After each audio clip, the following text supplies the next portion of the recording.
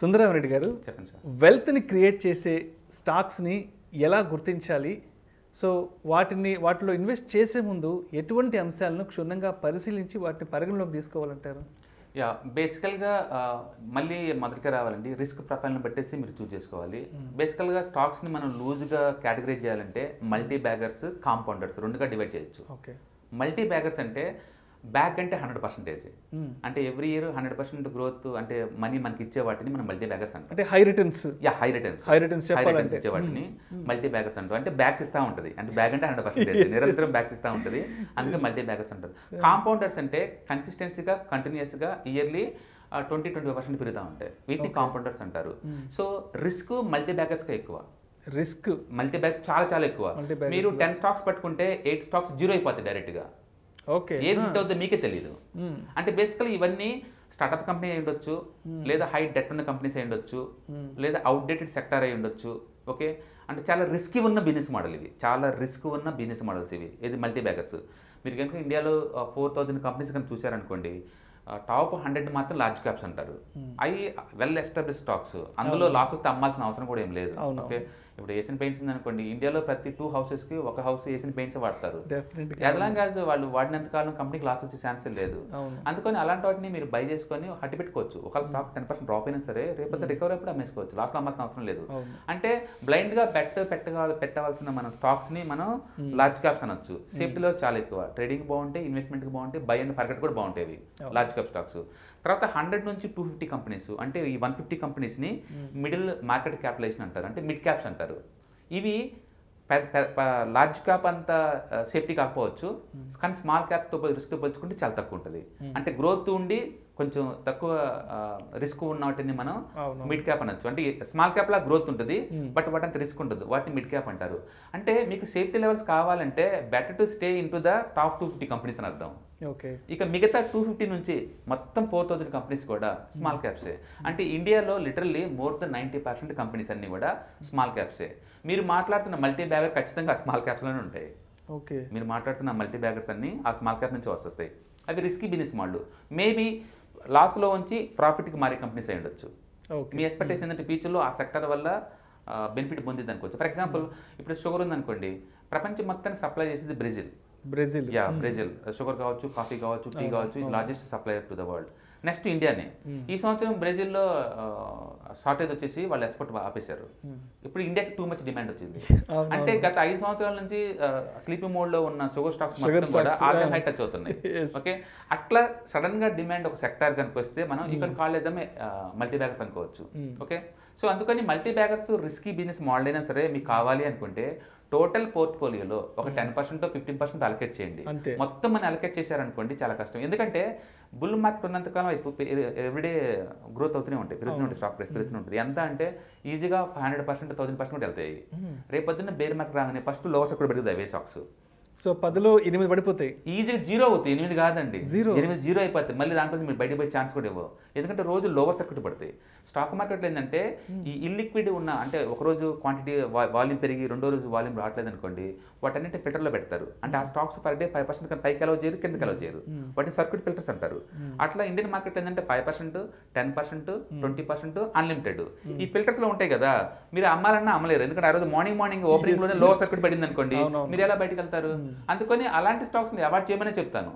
But మీకు ఇంకా మీకు ఆ రిస్క్ జీన్ కనుక మీలో కనుకుంటే yeah you can buy ten to fifteen percent portfolio assignment but ఎక్కువ శాతం మీరు కాంపౌండర్కి ఇచ్చారనుకోండి మార్కెట్ పెరుగుతున్నప్పుడు వీటితో పాటు పాజిటివ్ పెరగకపోవచ్చు. బట్ ఇవి కూడా పెరుగుతాయి మార్కెట్ డ్రాప్ అవుతున్నప్పుడు ఇవి పడవు. తక్కువ పడతాయి ఇవి. అందుకని ఇవి సేఫ్టీ ఎక్కువ ఉంటుంది వీటిలో. అందుకని మీ రిస్క్ ప్రొఫైల్ని మీరు అనాలిసిస్ చేసుకొని మీకు కాంపౌండర్స్ కావాలా మల్టీ బ్యాగర్స్ కావాలా పెట్టుకోండి. డెఫినెట్గా కాంపౌండర్స్ లాంగ్ టర్మ్ దీన్ని బీట్ చేస్తాయి. ఎందుకంటే ఇవి ఎవ్రీ ట్వంటీ ఇయర్స్కి ఒకసారి మళ్ళీ కొలాప్స్ అవుతుంటాయి టెన్ ఇయర్సే పడిపోతూ ఉంటాయి. మళ్ళీ ట్రై చేస్తాయి. మ్మ్. మళ్ళీ విత్ ఇన్ వన్ ఇయర్లో ఫైవ్ హండ్రెడ్ పర్సెంట్ పడతాయి మళ్ళీ డౌన్ అవుతా పోతుంటాయి. ఇప్పుడు మీరు కనుక కమోడిటీ సైకిల్ చూసారనుకోండి అప్ డౌన్ ఇది కామన్ థింగ్ అనమాట ఎక్కడికి పోలేవు ఎక్కడెక్కడే ఉంటాయి. సో మల్టీ బ్యాగ్స్ కూడా అలానే ఉంటాయి. It's risky business model but కొంతమంది వాటి recommend చేస్తుండొచ్చు. But I do strongly believe compounders is the best way ఎక్కువ మంది పబ్లిక్ బాగా యూజ్ అయ్యేది కాంపౌండర్స్ ఎందుకంటే అవి అర్థం చేసుకోవటం ఈజీ ఆ బిజినెస్ మోడల్ని దాంట్లో వెల్త్ మేనేజ్ చేయడం కూడా చాలా ఈజీ సో మల్టీ బ్యాగర్స్ నుంచి హై రిటర్న్స్ ఎక్స్పెక్ట్ చేయాలంటే రిస్క్ను కూడా అంతే స్థాయిలో ఫేస్. చేయగలగాలి మీకు ఆ రిస్క్ తీసుకునే ఎబిలిటీ. ఉండాలి. ఎందుకంటే రేపు పొద్దున మార్కెట్ డౌన్ అవ్వగానే అవి లోవర్ సర్క్యూట్ టచ్ అవుతా ఉంటాయి ఎవ్రీడే Hmm. ఆ టైంలో మీకు ఎగ్జిట్ కూడా ఎలాంటి ఛాన్స్ ఇవ్వదు మీకు. ఓకే ఈ పార్టీ ఉన్నంతకాలం ఎంజాయ్ చేయొచ్చు దాన్ని Okay. ఒకసారి పార్టీ అయిపోయింది అనుకోండి నీకు ఏం ఉండదు అక్కడ. అందుకని ఇన్ టైం ఎంటర్ అవ్వటం ఇన్ టైంలో బయటపడటం చాలా చాలా ఇంపార్టెంట్ మల్టీ బ్యాగర్స్ వరకు కాంపౌండ్స్ అలా కాదు ఎక్కడైనా ఎంటర్ అవ్వండి మీరు. ఆల్ టైం హైయా ఎంటర్ అవ్వండి. మిడిల్లో ఉందా ఎంటర్ అవ్వండి. ఆల్ టైం లో ఉందా ఎంటర్ అవ్వండి. మీ ఇష్టం ఎక్కడైనా ఎంటర్ అవ్వచ్చు. ఎక్కువ మంది పబ్లిక్ ఏంటంటే తక్కువ రేటుకి వచ్చే స్టాక్స్ అంటే వన్ రూపీ టెన్ రూపీస్ వాళ్ళ వల్ల ఏంటంటే ఎక్కువ నెంబర్ వచ్చిందని వాళ్ళు ఫోకస్ చేస్తారండి. బట్ ఇందులో మీ వాల్యూ అనేది ఎక్కువ తక్కువ డబ్బుని బట్టి ఉండదు. ఇప్పుడు ఎంఆర్ఎఫ్ ఉంది అనుకోండి అది ఎయిటీ థౌసండ్ ఉంటే అది కాస్ట్ అని కాదు దాని మీనింగ్ అందులో ఉన్న టోటల్ స్టాక్స్ ఉందే ఫార్టీ ల్యాక్స్ ఉన్నాయి మీకు. అంతమించి లేవు దాంట్లో.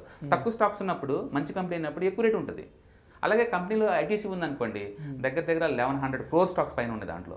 Eleven hundred crores eleven hundred crores stocks ఉన్నాయి. అవన్నీ ప్రీ ప్రోటీన్ స్టాక్స్ పైగా. అందుకని ఐటీసీ లాంటి ఒక రూపాయి పెరగాలని చాలా కష్టం. అందుకని ప్రీ ప్రోటీన్ స్టాక్స్ తక్కువ ఉన్న చోట స్టాక్ ఈజీగా పెరిగింది. అందుకని స్టాక్ మార్కెట్లో నిజంగా ఫండమెంటల్ సౌండ్ ఉంటే పెరుగుద్దా అంటే చెప్పడం కష్టమే.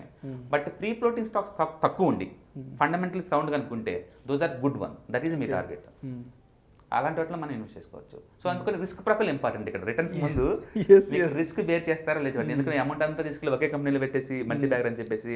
అది జీరో అయిపోయింది అనుకోండి మీరు స్టాక్ మార్కెట్ దూరంగా ఉంటారు. అందుకని ఆ, ఒక స్పెక్యులేషన్ లాగా ఒక ఒక లాటరీ టికెట్ లాగా ఊహించుకోమాకండి. Long term wealth క్రియేషన్కి stock market wonderful asset class భ్రమంలో ఉండకూడదు అంటారు హై రిటర్న్స్ వచ్చేస్తే అద్భుతాలు మీరు జరిగిపోతాయి. చేయాలనుకున్న ఒక టెన్ పర్సెంట్ అలకేట్ చేయండి సపరేట్గా. ఆ అమౌంట్ వరకు ఎక్స్పెరిమెంట్ చేయండి. తప్పేం. లేదు. ఎక్స్పెరిమెంట్ చేయండి. బట్ మనీ మొత్తం అలకేట్ చేయమాకండి మల్టీ బ్యాగర్ అదేవిధంగా పోర్ట్ఫోలియో జస్ట్ ఒక ten to fifteen percent allocate చేసుకోవాలి. Right. Multi baggers multi baggers అంతకంటే ఎక్కువ అలకేట్ చేయకూడదు. ఎందుకంటే నీ నమ్మకం వేరు స్టాక్ మార్కెట్లో పర్ఫార్మెన్స్ వేరు. ఎందుకంటే stock market global inter connected ఇప్పుడు అమెరికన్ మార్కెట్ ఫోర్ పర్సెంట్ ఈ రోజు నైట్ పడింది అనుకో రేపు ఇండియన్ మార్కెట్ మైనస్ త్రీలో మైనస్ ఫోర్లో ఓపెన్ అవుతుంది ఆ మల్టీ బ్యాగ్ చెప్పారు చూసావా? ఆ స్టాక్ మైనస్ టెన్లో ఓపెన్ అవుతుంది డైరెక్ట్గా ఓకే ఆ రిస్క్ని మీరు హ్యాండిల్ చేసేలాగా ఉండగలిగితే yeah go and put it ever money into the multibaggers so high returns expect చేస్తే High రిస్క్ను కూడా బేర్. చేయగలగాలి. రైట్ ఒక అంతేగాని స్టాక్ తక్కువ రేట్కి వచ్చింది అని చెప్పేసి ఇన్నోసెన్స్కి వెళ్ళి కొన్ని మాకు స్టాక్ స్టాక్ రేట్ తక్కువ ఉంది అంటే మీనింగ్ ఏమి ఉండొచ్చు అంటే కంపెనీలో స్టాక్స్ ఎక్కువ ఉండొచ్చు. ఎక్కువ ఉండొచ్చు. ఎక్కువ ఉండొచ్చు. ఒకటి ఆ కంపెనీ ప్రాఫిట్ కూడా తక్కువ ఉండొచ్చు అలా. ఉండొచ్చు. ఇవి రేపొద్దున పెరుగుతుంది అనుకోమాకండి అందులో చాలా మంది ఇష్టం చూసుకుంటారండి. ప్రతి బుల్ మార్కెట్లో ఏదైనా కంపెనీ పార్టిసిపేట్ చేస్తే నెక్స్ట్ బుల్ మార్కెట్లో పార్టిసిపేట్ రూల్ ఏం లేదు. ఓకే ఓకే అందుకని సైకిల్ని మీరు కన్సిడర్ చేయాలి హిస్టారికల్ డేటా కన్సిడర్ చేయాలి. బెస్ట్ థింగ్ ఏంటంటే మీరు ఏదైనా కొనే ముందు ఆ కంపెనీ వాళ్ళు గత టూ త్రీ ఇయర్స్ నుంచి క్యాష్ ఫ్లో ఎంత ఉందో చూసుకోండి. క్యాష్ ఫ్లో ఎంత ఉందో ఎంత ఉందో చూసుకోండి. బిజినెస్ సర్వే అవ్వాలంటే ముందు క్యాష్ ఫ్లో ఉండాలి కదా. స్టాక్ మార్కెట్ అంటే గంబ్లింగ్ చేస్తాం. Money rotation ఉంటేనే కదా. రైట్ రెండోది ఎర్నింగ్స్ అంటే ఈపీఎస్ ఈపీఎస్ అంటే ఎర్నింగ్ పర్ షేర్ అనమాట లూజ్ చెప్పాలంటే net profit per each share అది పాజిటివ్ ఉండాలి. అంటే ఎవ్రీ ఇయర్ కంపెనీ ఎంతో కొంత. మనీ మేక్ చేస్తా ఉంది అనుకోండి ఆ పారామీటర్ ఒకటి చూసుకోండి. మీకు నచ్చిన సెక్టర్ చూసుకోండి. బెస్ట్ వెబ్సైట్ ఏంటంటే స్క్రీనర్ డాట్ ఇన్ అండి. Screener dot in. అక్కడికి వెళ్ళండి. మీకు నచ్చిన కంపెనీ నేమ్ క్లిక్ చేయండి. దాంట్లో ఆ- అది ఏ కంపెనీ ఎక్కడ ఆపరేట్ చేస్తుంది దాని హిస్టరీ మొత్తం ఇది చూపిస్తాడు. Screening అంతా వచ్చేస్తుంది. Yes Ah. You're right. One minute affair అండి. మీరు కనుక పెట్టుకుంటే మీకు నచ్చిందా స్టిల్ మీరు బై చేసుకోండి. డాట్ ఇన్ ఎస్ రైట్ అక్కడ స్కానర్స్ కూడా చాలా ఉంటాయండి ఫండమెంటల్ స్కాన్స్ చాలా మంది ఫండమెంటల్ అంటే ఒక స్టేట్ ఒక స్టేట్మెంట్ చెప్పే విషయం కాదండి.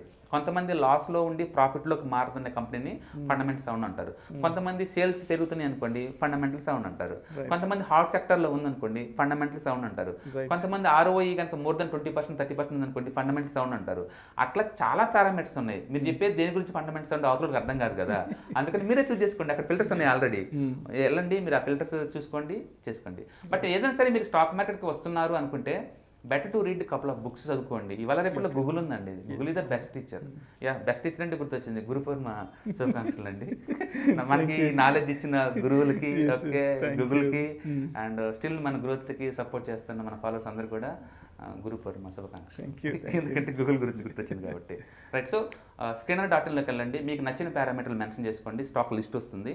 అందులో ఇన్వెస్ట్ చేయండి. That is the best one okay? ఉన్నట్లో multi బ్యాగర్గా నేను స్ట్రాంగ్గా బిలీవ్ చేసే కంపెనీ ఏంటంటే జిఎంఆర్ ఒకటి అండి. It is loss making company GMR GMR Infra it's it's must be multibagger long term point of view ఎందుకంటే హైదరాబాద్లో five thousand acres land bank ఉంది. అండ్ ఏవిగేషన్ ఫ్యూచర్లో పెద్ద సెక్టర్ mm. ఫ్యూచర్లో అది కామన్ అవుద్ది ఫ్లయింగ్ అనేది. అండ్ ఢిల్లీలో టూ హండ్రెడ్ ఎకరాస్ ఉంది. Okay they are managing excellent ఇది సెక్టర్స్.